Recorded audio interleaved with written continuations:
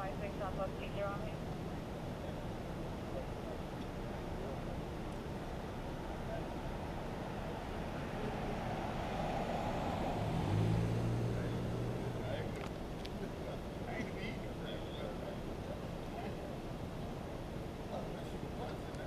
Sure.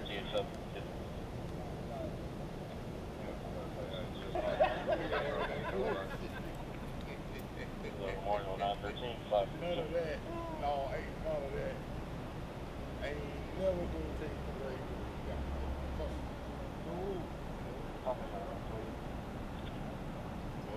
Pop 11 on River City.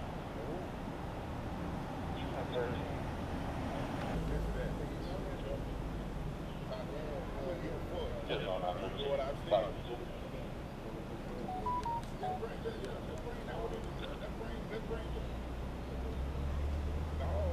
Sorry, uh, just on the. Uh, southbound on, uh, Order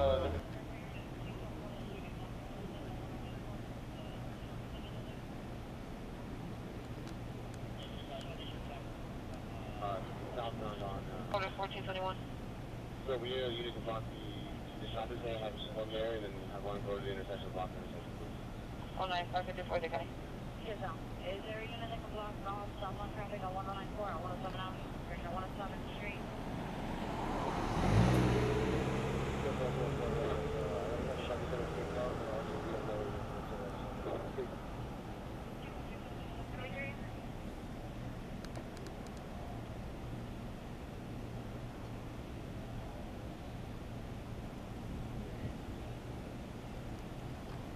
you? US South. Four is advising that use Long Island Shopping Center, however, he's advising that you can use the vehicle. Into Bay Break, okay. and we're taking them to our, uh, Harbor Patrol dock. If they can meet us there, please.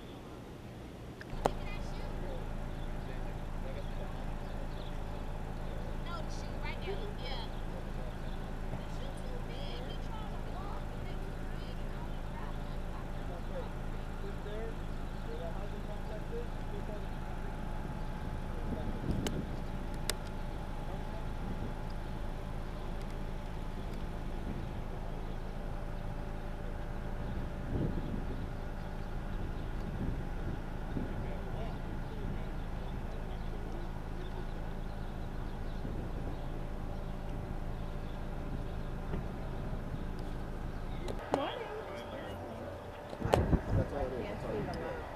It's not that. Only thing on because the what we're end gonna with- do is, I know they're gonna say, hey, can I go to the walk? And you're right here, and you're right here.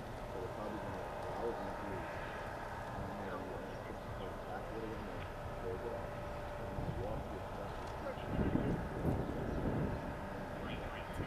Madeline, how are you? Good. Seven four twenty-two forty-four. Airport 1024. One eight six two, one nine thirteen, the, uh, Metro Rail, twenty-two hundred. Six twenty-five.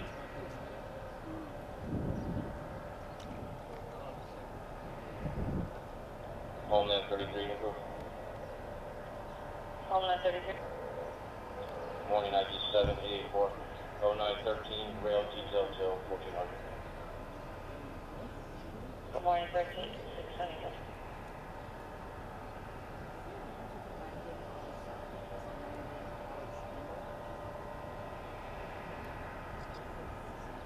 But say Kendall.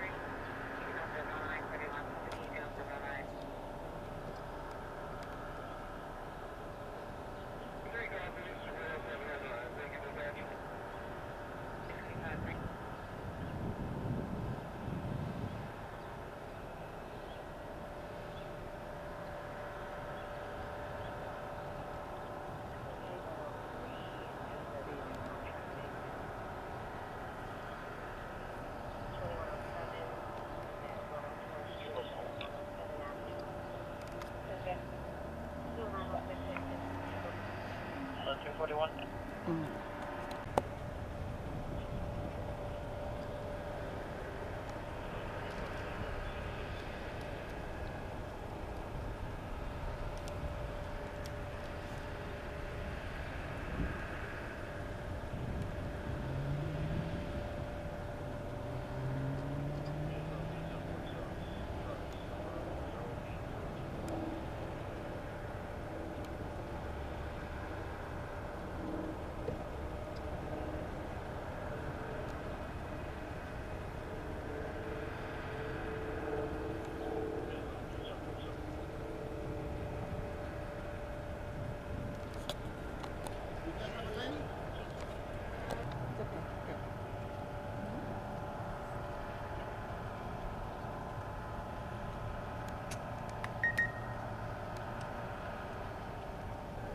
It's okay. We had another terrible act of gun violence that affected our community. Currently at this scene, which occurred at 104th Street and uh, 109 Court, there was some sort of uh, graduation party occurring that was just finishing in the parking lot of the strip mall behind me. Uh, as patrons were leaving, one or maybe two vehicles pulled up and began to fire at the crowd. Uh, we have five persons shot, three deceased, two deceased in a vehicle that crashed into Miami-Dade County College, South College. One victim is deceased at the hospital, and it's with a heavy heart to say that that victim is a, from where we're being told, is a Florida corrections officer. Our condolences go to her and her family, and to the other victims here on the scene. Right now, my detectives are actively working the scene. Anyone who has any information, please call 305-471-TIPS. And I just tell you, it just goes to show you the magnitude of this gun violence issue. It doesn't just affect community members, it affects the law enforcement community. We all have to band together. This, this violence has to stop. This is extremely frustrating. Every weekend, it's the same thing, and we just got to band together. We, we did Operation Summer Heat, made a lot of arrests, seized a lot of firearms, and here we are again. There's a lot of work to do. We got to get together as a community and make this stop.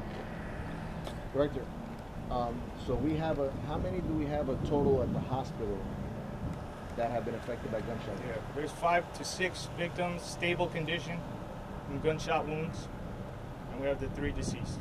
Now, the shooting didn't occur in Miami-Dade College, no? The shooting did not occur in Miami-Dade College.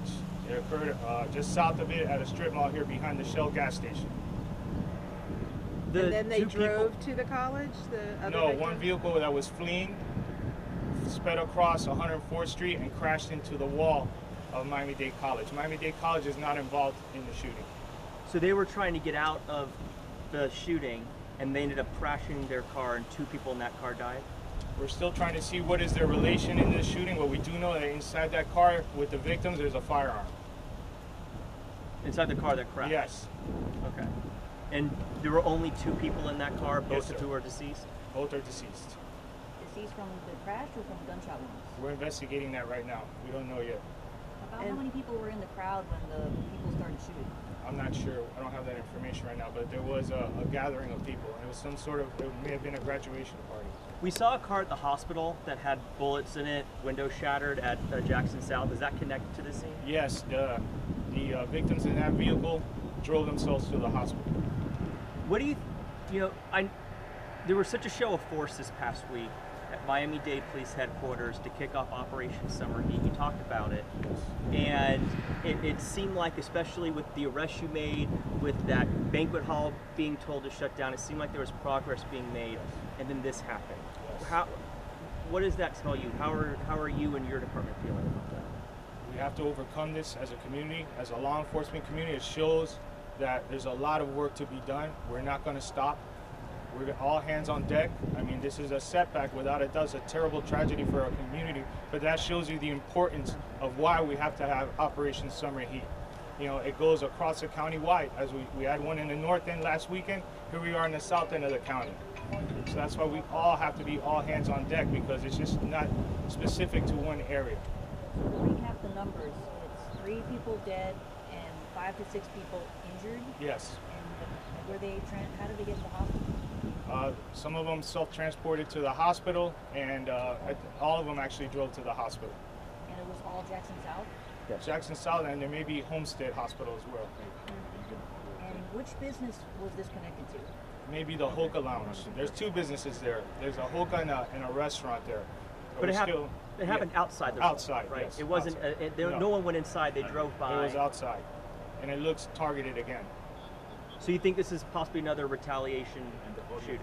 It looks like a targeted shooting But it has nothing to do with the El Mula shooting. that we don't know of. No, And what? and it's still early for that. We're still, you know, we're in the preliminary stages of this investigation. Do we have a description of the suspect vehicle? We heard it was a Chevy Malibu and a Toyota. Well, we know right now, there's a dark color possible Chevy Malibu and a white uh, Camry. That's preliminary right now, and then we have the other vehicle that's uh, crashed in the uh, in the college. Do we know um, the breakdown of male and female victims? How many of each? From what I know right now, there's three female victims, one of which is deceased with, uh, with a uh, gunshot wound, and she is the Florida State Corrections Officer. Do we know which jail she worked at? No, I, I don't have that information. George, George, I know that you, that as he mentioned, summer heat just got started to combat this violence. Um, it's a 12-week program, and it just started on Thursday. We clearly don't think that we're going to be able to solve all the issues over the weekend by Sunday. These things are, may continue to happen, but we're going to still show a force and be able to break the gun violence down. That's why it's an extended uh, operation because, as you see, this violence is is, uh, is very random throughout our community, and, and I can tell you that law enforcement is fully engaged, the community is engaged, and and we all got to work together to stop this. I mean, it just has to. We cannot continue with this series of gun violence every weekend. You're seeing it around the country. We got to stop it here in Miami-Dade County. There's a, another victims, of other families that are destroyed over senseless gun violence, over stupidities, reckless shooting, innocent people getting hit, a corrections officer getting killed. I mean, how much more can we can we show how dire this situation is? And that's why it requires all of us together. There's not just one remedy; it takes all of us. And that's why I will keep pushing that message. The corrections officer. I, I assume that she wasn't here, obviously working or in uniform. But do you think in any way this was targeted towards her, or do you think she got caught up in the situation? We don't know. We don't believe so. I think she's just another innocent victim, like the many innocent vic- victims that we're seeing with these type of cowardly acts. Individuals taking guns to uh, to resolve grievances or, or vendettas. Is South Florida safe? I mean, you know, I, I, it sounds like a loaded question, but there's so many people who are just going out to dinner, to an event like this, and for no reason for their own, someone drives by in a car, someone walks up and opens fire. Is South Florida safe? I can tell you is all of law enforcement is doing everything they can to keep our community safe. And the question you got to ask is, America safe? What's going on in American society? That's, I think, the larger question that we need to see here, because this type of violence is not like it's only happening in Miami-Dade County. What, what's happening here, this plague of gun violence, is happening throughout our country, throughout our youth, throughout our communities, and this is the new pandemic. This is a, a serious issue, and uh, it, it requires a, a, uh significant response to this, not only locally but nationally as well. The, the graduation party, it was in the restaurant or in the hookah lounge? I'm not sure if it was in the restaurant or, or the hookah. I'm not sure. I just know that the incident happened in the parking lot onto the street right there, that small street over there. Somebody in two vehicles shot the crowd. Two, two as of right now. Could be more. That's all preliminary. This is from witness statements that we're getting. And around what time did this happen? About two in the morning. And did, was who, who was it who called 911? The, the victims or bystanders? received uh, multiple calls, uh, shots fired in the area. Our, our officers immediately convened in the area, converged, found the vehicle crashed up against the wall, and uh, a lot of people had scattered, but uh, multiple calls came in. In the car that crashed, you said there was a gun inside that yes, there's a gun in there. Okay. But do we believe that the, the occupants were victims of the shooting? Or suspects, or We don't know yet. We don't know. Spanish. Director, explíquenos un poquito qué fue lo que sucedió aquí hoy. Sí, tenemos otro acto de violencia con armas. Eh, había una fiesta que se estaba terminando aquí en la área de la 104 calle, la 109 avenida.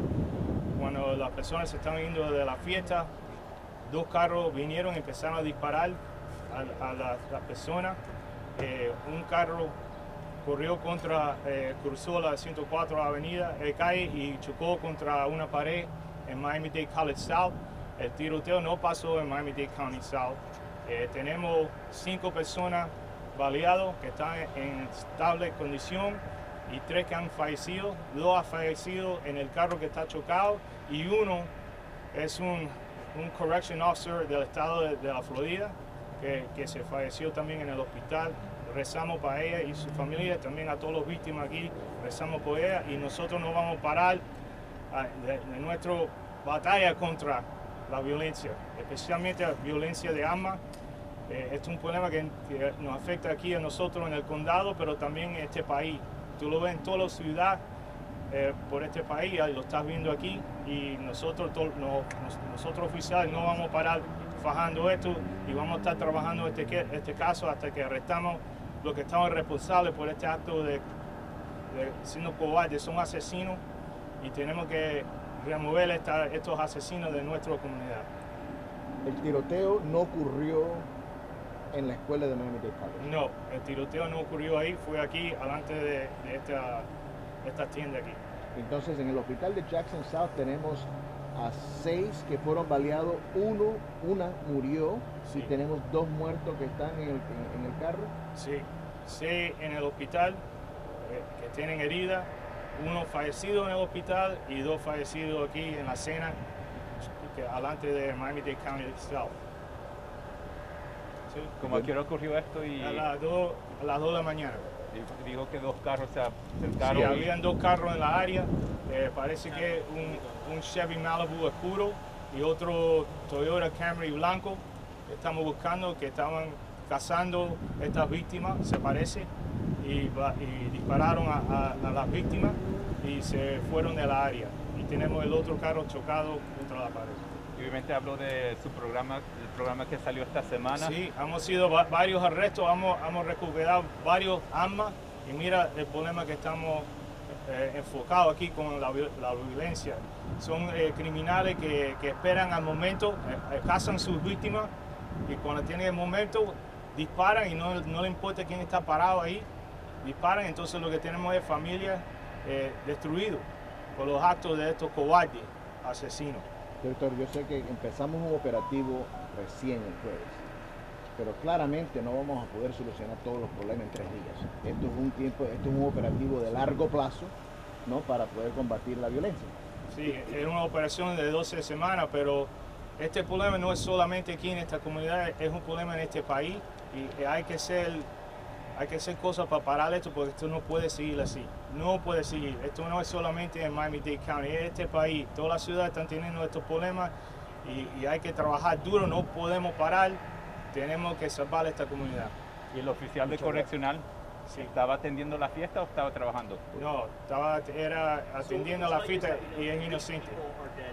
Los sospechosos